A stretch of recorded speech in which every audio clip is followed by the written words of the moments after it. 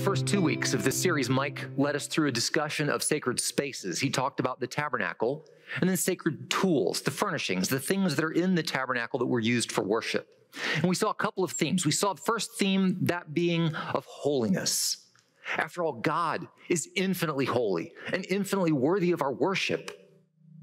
And therefore, the architecture, the design, the materials, the closer you get to the presence of God at the Holy of Holies, the more glorious is the workmanship and the materials.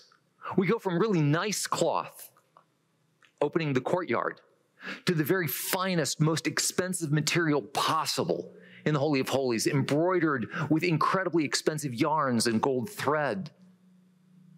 Everything pointing Israel to the incredible holiness of the Lord their God. You know, holiness might cause us to think that God is remote and distant and far off, but nothing could be farther from the truth. Because, see, God's desire is for his people to be present with him. And that becomes the second theme that Mike brought out in the first two messages was presence. God desires to be among and with his people. And so, for example, we saw that all of Israel was invited to come into the courtyard. For example, you might come bringing a thank offering to the Lord. And part of that thank offering, that lamb, for example, would be totally consumed in the fire as an offering given to the Lord, is his portion. But part of that lamb would be perfectly roasted by the priests and then would be eaten by the worshiper and the priests together in God's presence, enjoying a meal with their heavenly Father in his house, right in the middle of town. God's desire is presence with his people. In those first two weeks, we looked at the tabernacle, we looked at its furnishings. Today, we'll begin to look at the priests who were called to sacred service in these sacred places. I'd invite you, please turn with me to page 68 or to Exodus 28 if you have your own Bible. And we begin reading in verse 1 Then bring near to you Aaron, your brother, and his sons with him from among the people of Israel to serve me as priests Aaron and Aaron's sons, Nadab and Abihu, Eleazar and Ithamar. Now you note that, that God doesn't take out a want ad in the paper, help wanted priest. There's no ad in monster.com. There's no call for volunteers. The Lord chooses who will serve him. The Lord chooses Aaron and his sons. Now, how does he make this choice? I'll tell you right now, it's not based on merit. After all, Aaron is the guy in chapter 32 who takes all of the jewelry from the Israelites, melts it down, and makes a baby cow statue that they can worship. It's not based on merit, it's based on God's gracious choice, God's kindness. And after all, isn't that the way that it is for us as well? Do any of us come to God, become adopted as his children because of our merit? no, quite the opposite. It's based on Christ's merit. It's God's grace that brings us to him, just as God's grace and kindness brought Aaron and his sons into the service as the priests. We turn to verse 2 and you shall make holy garments for Aaron your brother, for glory and for beauty.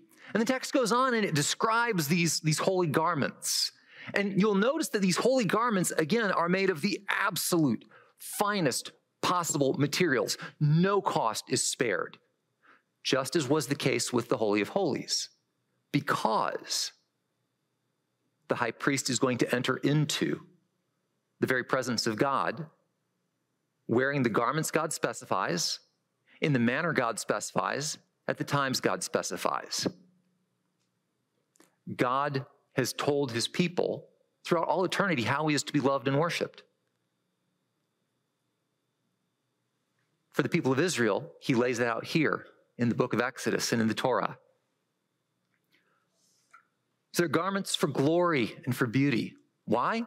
again, because it reflects the beauty and the glory of the God who is being worshiped by the priest. It's just the very faintest glimmer of the glory of God, no matter how beautiful and amazing these garments were.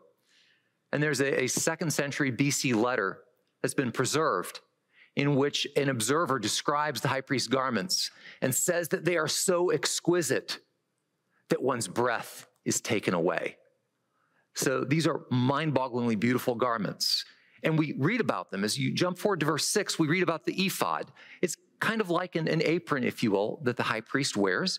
We see that it's made again out of gold and blue and purple and scarlet yarns and fine twined linen, skillfully worked. Only the very finest, best materials and the greatest craftsmanship is used, again, because the high priest is entering into the presence of God. On that ephod, we find gemstones. And we start in verse 9 You shall take two onyx stones and engrave on them the names of the sons of Israel, six of their names on one stone, and the names of the remaining six on the other stone, in the order of their birth. As a jeweler engraves signets, so shall you engrave the two stones with the names of the sons of Israel. You shall enclose them in settings of gold filigree. So, what's going on here? I think there are three things.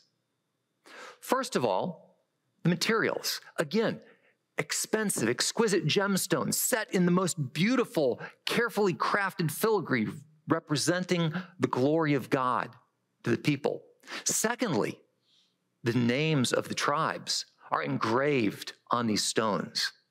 So that as the high priest, who alone is allowed, and only once a year, to go into the Holy of Holies, into God's very presence, on his shoulders, by proxy, he brings with him all of God's people into the glorious presence of the God who loves them, who rescued them from slavery, and who desires for them to be in his presence.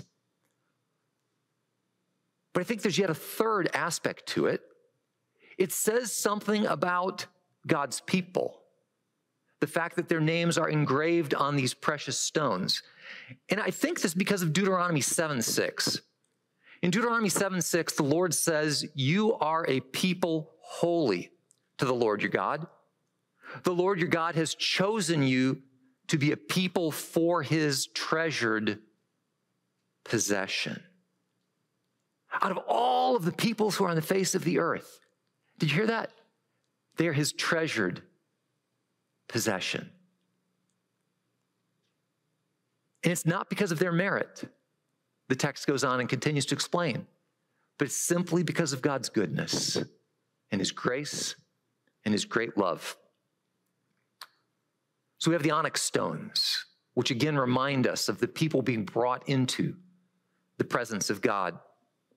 Sliding forward to verse 15, we come across the breastpiece of judgment, which is also made of extremely fine materials. It's a piece of cloth, and mounted to it are 12 gemstones. Four rows of stones, and the stones are described to us. The stones, again, are set in the finest gold filigree. And in verse 21, we read that these stones shall be associated with the names of the sons of Israel. They're like signets, each engraved with his name. Again, so that the high priest brings the people into God's presence with him whenever he goes to minister before the Lord and whenever he encounters the Lord's presence in the Holy of Holies. In verse 31, this idea of graded holiness, of glory of God, again is reflected in the priest's raiment. The robe is made all of blue. Now, blue dye, oh my heavens, this is expensive, expensive stuff. The most expensive dye possible. The, the dye was extracted from glands in snails. It would take thousands and thousands of snails and incredible amounts of labor to get enough dye for a single garment. So, uh, needless to say, uh, normal folk like us would not have had this kind of fabric. It reflects again the incredible glory of God, not the glory of the priest, but the glory of the Lord who is being served by the priest. The robe's description continues in verse 33. On its hem you shall make pomegranates of blue and purple and scarlet yarns about its hem, with bells of gold between them. A golden bell and a pomegranate, a golden bell and a pomegranate around the hem of the robe. I think the pomegranates are probably pointing us back to a time of perfect fellowship, perfect enjoyment of God's presence. Life in the garden before we sinned. Before, because of Adam's sin, we all became sinners by nature. And because of that sin, it became impossible for sinful people to be in God's presence, and hence Adam and Eve were cast out of the garden. And this is actually an act of God's kindness to have them leave the garden because they could not have survived his glorious presence. You see, as we learn in verse 35, it's dangerous for sinful people to enter into the presence of the holy God.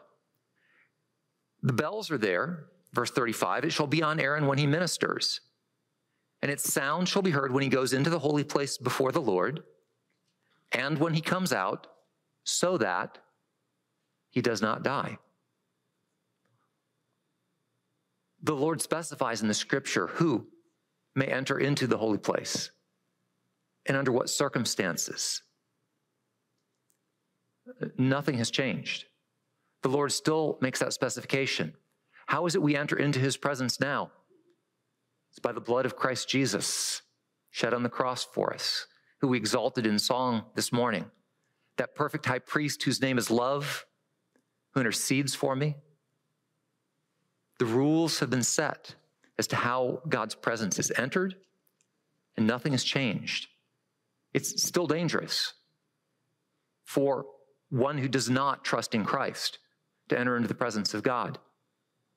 That happens on the great and terrible day of the Lord at the end of times when there are two outcomes. Those who trust in Jesus who are clothed in his righteousness will enjoy his presence forever. Those who do not, who have rejected Christ, will experience condemnation.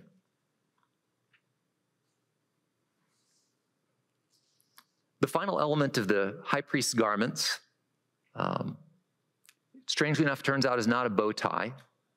Um, I got here this morning and, and Rob Goddard rebuked me he said, Eric, you're not wearing holy garments. You don't have a bow tie. It's like, oh, guilty. So now it's not a bow tie. Turns out it's a turban, um, which apparently is not in vogue in among New Testament members of God's people, but that's fine.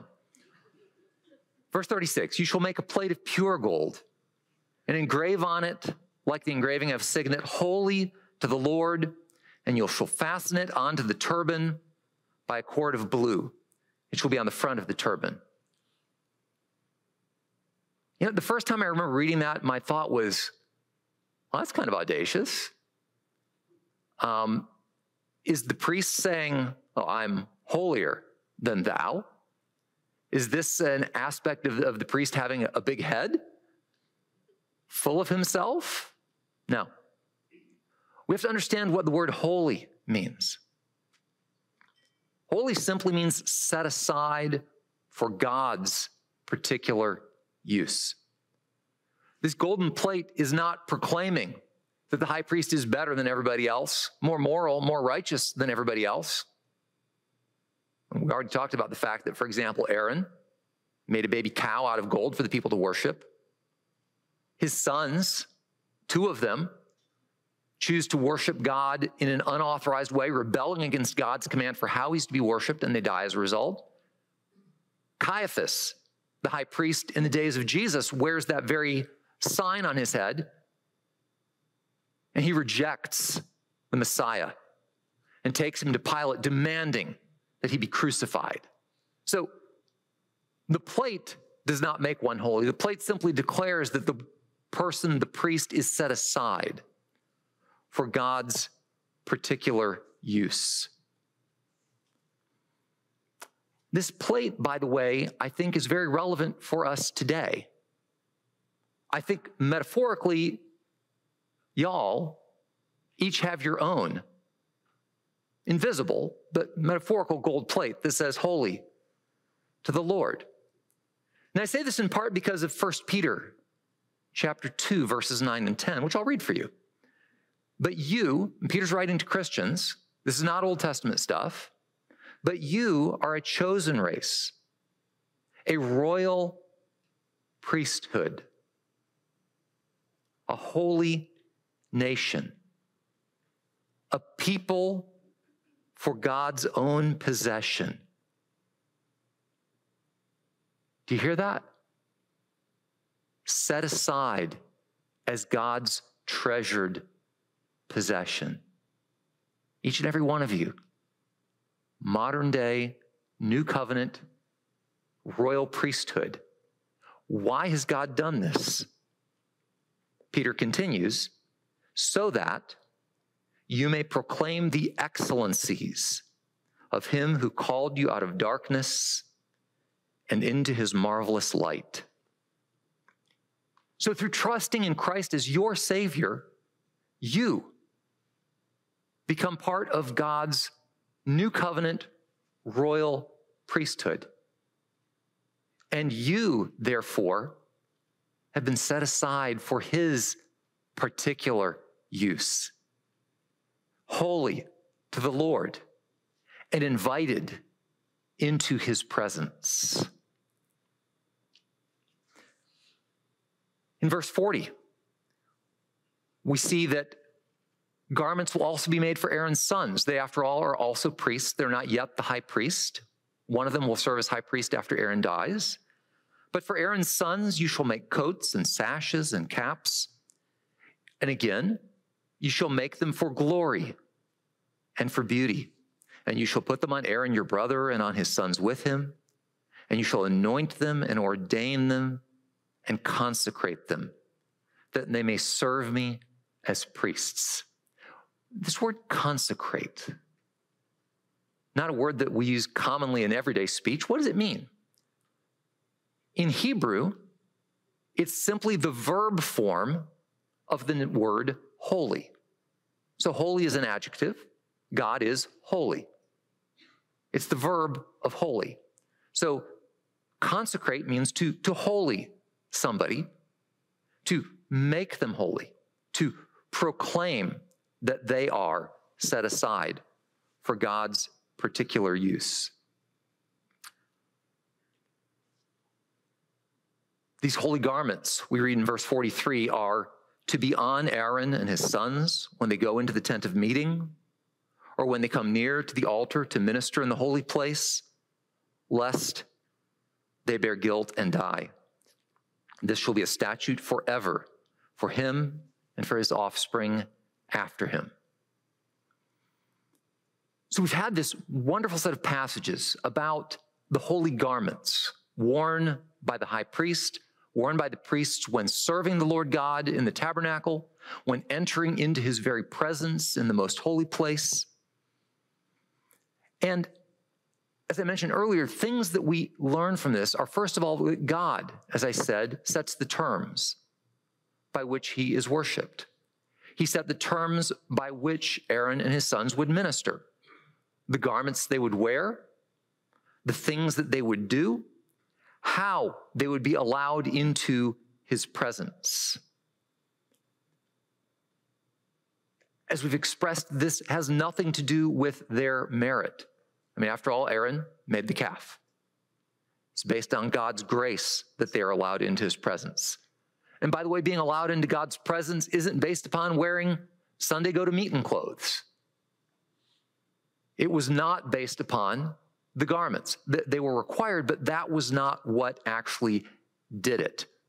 Because you see, a person can put on holy garments can be stunning and exquisite and glorious in appearance on the outside, but there is still a problem. That problem is that person's sin nature and that person's individual sins. And we see examples of this throughout Scripture in Leviticus chapter 10. As I mentioned, two of Aaron's sons, Nadab and Abihu. God has told them exactly how he is to be worshiped, exactly the type of incense, exactly how it's to be done. They're like, nah, we're going to do it our way. That's just boring. So they worship God in an unauthorized way, and they die as a result of this presumptuous sin. The clothes did not make the men. Their hearts were rebellious, were not right with God. Jesus makes this exact same point in Matthew chapter 23.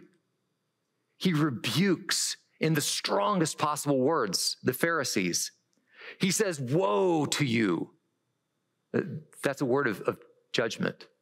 Woe to you, scribes and Pharisees, hypocrites. You are like whitewashed tombs, which outwardly appear beautiful, but within are full of dead people's bones and all uncleanness.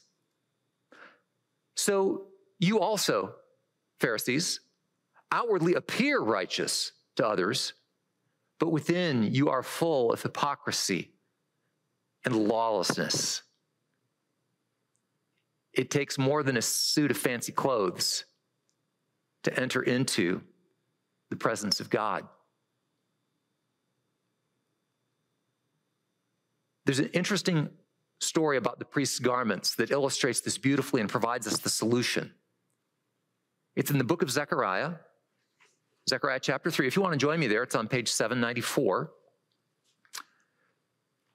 It's an interesting vision. So, this is now some thousand years after the instructions for the priest's garments have been given.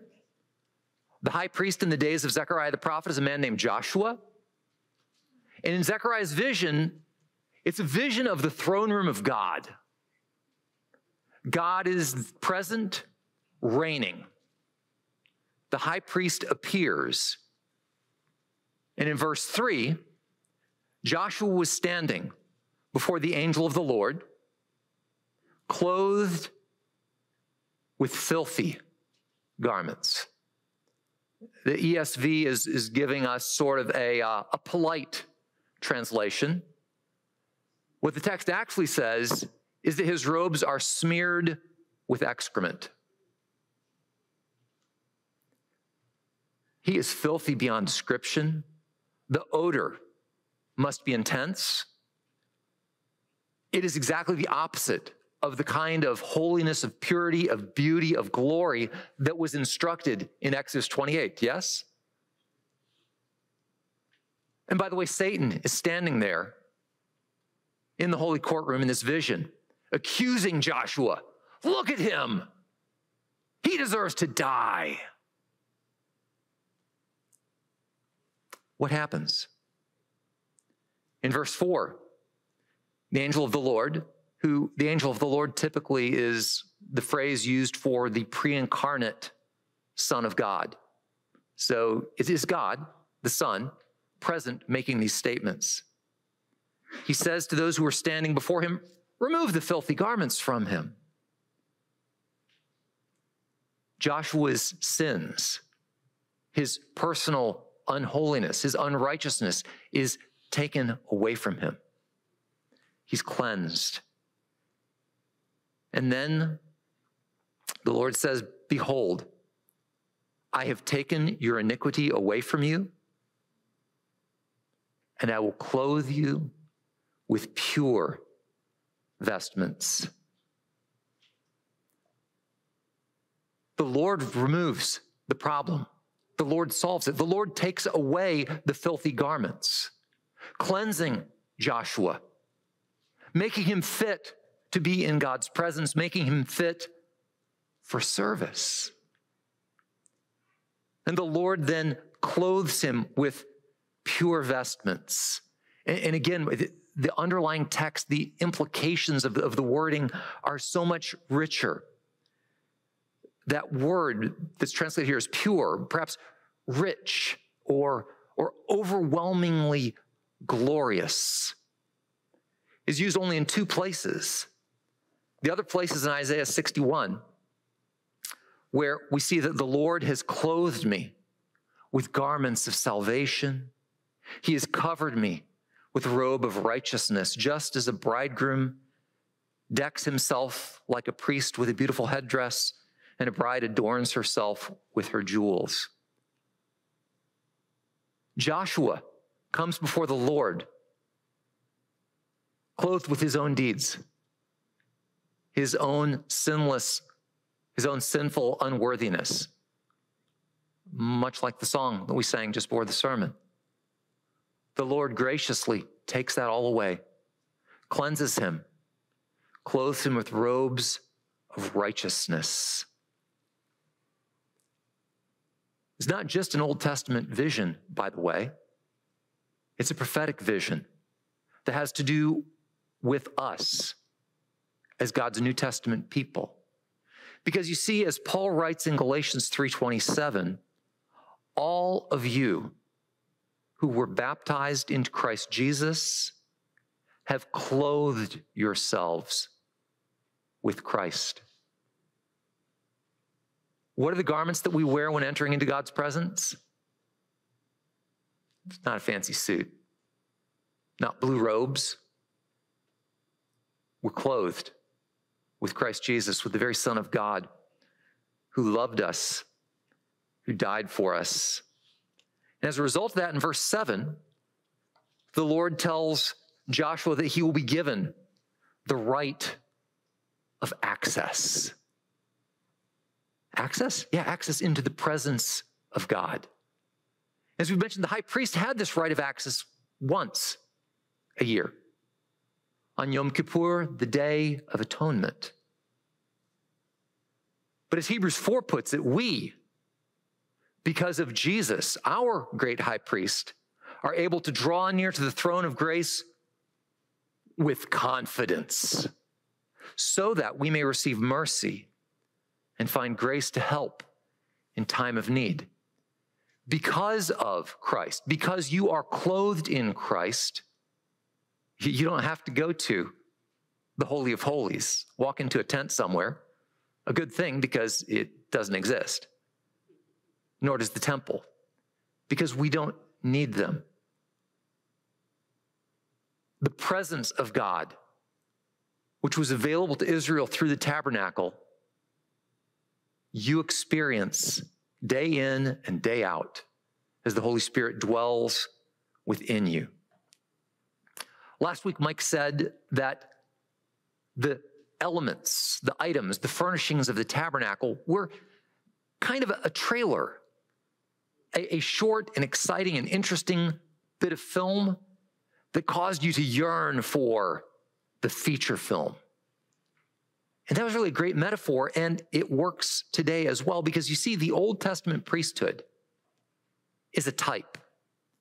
It's something that points forward, it's a preview of what God had planned for the New Testament priesthood of all believers, for every single one of you who trusts in Jesus as your Savior. 1 Peter 2 5, Peter says, You yourselves, like living stones, are being built into a spiritual house. That would be called a temple. To be a holy priesthood, to offer spiritual sacrifices acceptable to God through Jesus Christ. So you see, the Old Testament priests in chapter 29 in the ordination are washed and cleansed with water from that big bronze basin of water in the courtyard. But you have been washed with the Holy Spirit. They put on holy garments made by human hands. But you are clothed with Christ Jesus himself. They could enter the Holy of Holies, but once a year and only under very specific rules. By contrast, the Holy Spirit dwells within you all the time. As the Lord Jesus said in Matthew 28, Behold, he is with you always. The news actually gets better, though. Not only do we already have a better experience than they did, but we look forward to an even greater one. What we have right now, even, is just a trailer of what is yet to come as we look forward to Christ's return and to dwelling with him forever in his presence and serving him as a royal priesthood for all of eternity. Amen. We pray with me.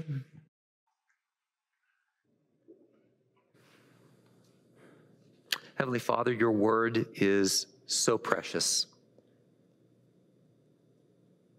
I marvel at how the Old and the New Testament weave together into this beautiful tapestry, a cloth that is far finer even than that was used for the high priest's robes. A tapestry that shows us the story of how you have purposed to redeem a people for yourself, to dwell with you in your presence, enjoying your presence and your goodness forever. Lord, we thank you for the gift of Christ Jesus, our Savior, by whom we are able to come to you. It's in his name we pray. Amen.